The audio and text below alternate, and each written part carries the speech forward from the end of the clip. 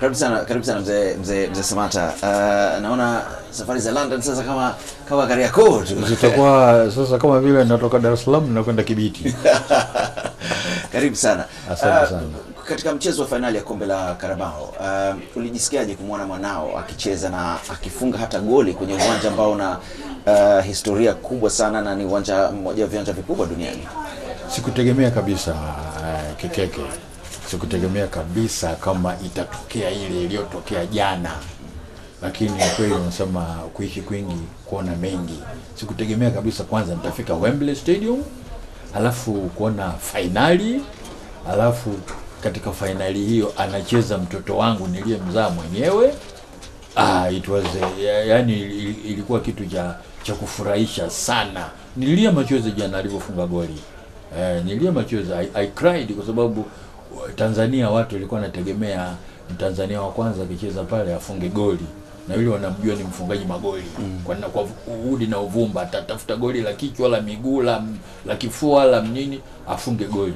Sasa jana naambiwa wa- Dar es Salaam mzima usiku kucha wamekesha mitaani wanashangilia Mtanzania mwenzao wa kwanza kucheza Wembley na kufunga goli alafu na kuifunga Manchester City ambayo Liverpool alishaifunga vile vile. Wananiambia yote ya. Liverpool ameifunga na Manchester City ameifunga.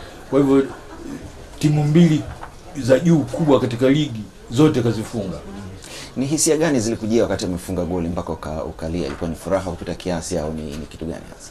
Kwanza nili kabla ya hapo nilisema niliomba kwa Mungu kwamba naomba kijana wangu kama Watanzania wengi wanavyoomba afunge goli siku ya fainali ya wanaocheza Manchester City na Aston Villa. Niliomba kwa Mungu kusema ukweli. Sasa ilivyotokea vile nika, nikalia kwa furaha kwamba kwanza Mungu amekubalia dua langu alafu pili furaha ya mtoto wangu kufunga katika almost kila mchezo. Najua amecheza michezo karibu mine hapa na hakuna goli ambalo yeye hakusababisha au kafunga mwenyewe.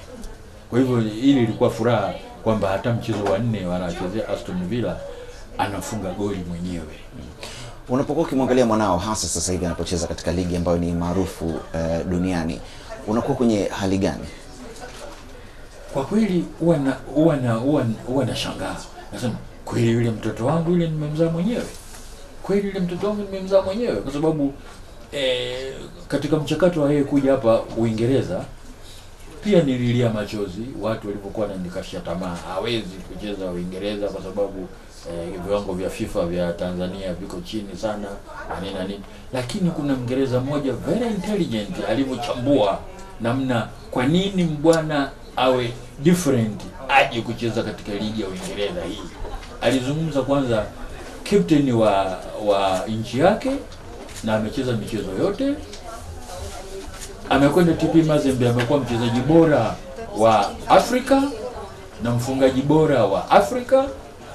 Amekwenda Genk, amekuwa mfungaji bora wa Genk katika klabu yake, na mwaka mmoja ame, ameipeleka Genk ile katika Europa League, mwaka mwingine tena akaipeleka katika Champions League, na kacheza Champions League kafunga magoli kuwafunga Liverpool Genk pale, lakini kakataliwa na Waingereza wengi walilalamika kwamba kwa nini ilikataliwa, sijui kwa nini, alafu akawafunga Anfield hapa hapa goli. Kwa hiyo ukiangalia, ukiwa una- unamtizama ukiwa uwanjani au hata ukiwa unamtizama kwenye TV, unakuwa unakuwa na, na wasiwasi, unakuwa unakuwa unapata hisia gani unapotizama? Unapata midadi? Mimi mwenyewe zamani nilicheza mpira mpaka timu ya taifa, mm. nikwambia -hmm. nilicheza mpaka timu ya taifa na nilikuwa nacheza namba kumi hiyo hiyo, see? Kwa hivyo nikimwangalia mtoto wangu akicheza, sioni ajabu kama nini, mama yake tu akimwangalia vile wanavyomtega, anaumia, anaanguka, anafumba macho hivi, lakini mimi sioni ajabu kwa sababu nimeshategwa sana, isipokuwa tu namkosoa na, na na kwamba sehemu ile angefanya hivi lakini hakufanya hivyo. Sehemu ile angefanya hivi lakini hakufanya hivyo. Kwa hivyo huwa nachukulia na, na, kama changamoto kwamba mambo mengine anayafanya mimi nilikuwa siyafanyi, yaani yanakuwa mazuri kuliko mimi nilivyokuwa nafanya Mm. Na wewe ulikuwa unapiga magoli mguu wa shoto, mguu wa ulia, vichwa. yote yote. Ndio maana Kikeke nikwambie, kwamba mzungu wa kwanza kuja, kuna kitabu nimekupa kile, yeah. mzungu wa kwanza kuja katika nchi hii kufundisha mpira, mzungu wa kwanza 1964 alikuwa Milan Selbeck kutoka Yugoslavia. mm. Baada ya kucheza ligi yetu ya taifa kule kule Tanzania, wakamwambia viongozi wa mpira, bwana, krimu yetu yote ni hii hapa, na umeshatuchagulia wachezaji ishirini na tatu wa kwenda kucheza gosi lakini tunataka utuchagulie mchezaji bora uliyemwona wewe katika mashindano haya. Akasema mchezaji bora namba kumi wa Dar es Salaam. Kwa nini namba kumi wa Dar es Salaam?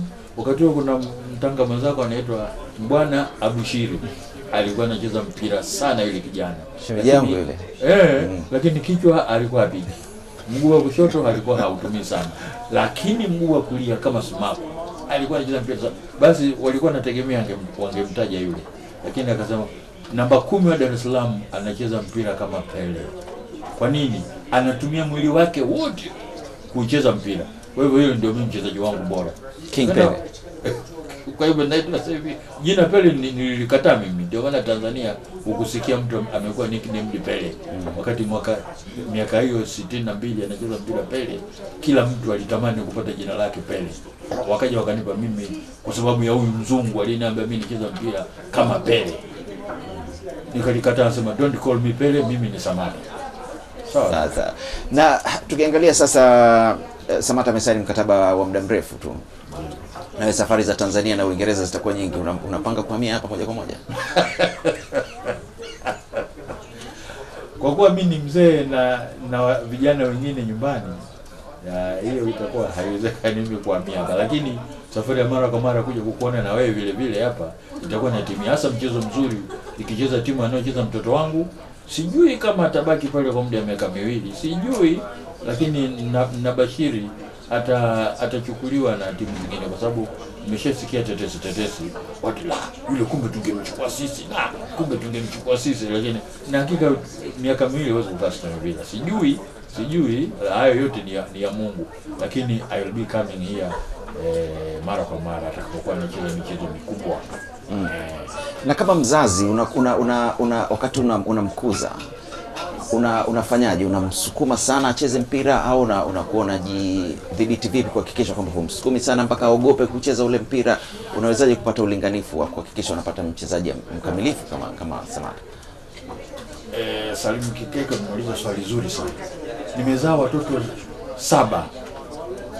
Eh, kati yao mmoja alifariki, ali- wakabaki sita wa kiume, na huyu ni mtoto wa mwisho wa kiume, na wote wale watoto wangu wa kiume wote wamecheza mpira katika ligi kuu, wote wote mpaka sasa hivi ana kaka yake anaitwa Mohamed Samata anachezea KMC Kinondoni Municipal Council. You see? Sasa huyu alikuwa anaangalia kutoka alipozaliwa tu mwaka 92 alikuwa anaangalia kaka zake, maana wakienda kwenye mpira na yeye wanambeba, wakienda kwenye mpira na yeye wanambeba. Kwa hivyo kumbe alikuwa anaangalia what is going on nani kaka yake Musini anachezaje, Sadi anachezaje, Mohamed huyu kaka anachezaje, na kwa hivyo na yeye akachukua utaalamu wa kaka zake, naona wote ndio kauingiza katika nini yake. Kwa hivyo naona eh, wakicheza mpira wana, wana, wak- wak- wakicheza mpira watoto wangu, kwanza najisifu mimi mwenyewe nilicheza mpira, nilikuwa naupenda sana, nilikuwa nacheza pekupeku. Watoto wangu siku hizi wanachezea viatu eh. Basi najisifu kwamba nilicheza mpira, kumbe ilikuwa kitu kizuri sana. Sikuwakataza watoto wangu wa- wasicheze mpira. Wakati nacheza mpira mwenyewe niliumia, baba yangu akaniambia usicheze mpira tena. Ah, Nikawa namuiba kucheza mpira, alafu namletea zawadi senti ishirini, senti thelathini ya kununua mafuta. Akasema oh, mtoto wangu radhi, cheza mpira. Nikacheza mpira mpaka nisha. Kwa hiyo na, na bwana wewe ulikuwa unamwambia tu nenda kacheze na Mimi bwana nilikuwa simkatazi, ila alikuwa anafanya vitu vingine vya kipuuzi. Anaja kwenda shule, ana, anabeba begi lake na, na jezi, badala ya kwenda shule asubuhi ana, anaepuka anakwenda kwenye timu au wanasafiri wanakwenda labda Ruvu wapi, shule haendi. Sasa huyu kakake huyu Mohamedi anambia, baba eh, leo bwana akwenda shule. Nimemwona anatoka nitu oh, oh, akwenda shule Kondado huko ndika msikienda kucheza mpira. Basi nasubiri jioni, wakati wa kula lazima mkusanyike wote. Bwana wewe bwana mzee, umekwenda shule? Eh, leo mimi nilikwenda shule. hebu lete vitabu vyako nivione.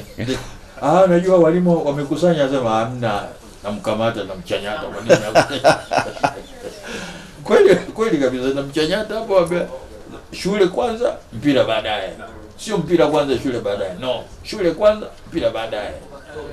Ndivyo nilikuwa Na mpaka leo anazungumzia kuhusu shule, nilipozungumza naye mara ya mwisho. yeye kwanza alikataa kwenda form 5 na form 6 alivyomaliza form 4 akamwambia nakupeleka form 5 na form 6 ambia ah mimi sitaki kwenda mimi nataka nicheze mpira. Nataka kucheza mpira eh? Uria cheza mpira kwa sababu kuvuja kwa pakaja nafuya mchukuzi. Si mimi si ndio ndio ningelipa? Kuanzia sekondari mpaka ile uh, nini high school. Kamba kuvuja kwa pakacha na fuya mchukuzi nikamwacha anacheza mpira. Uh, bahati nzuri amecheza mpira vizuri. Nashukuru sana, karibu sana, hongera sana. asante sana. Thank you very much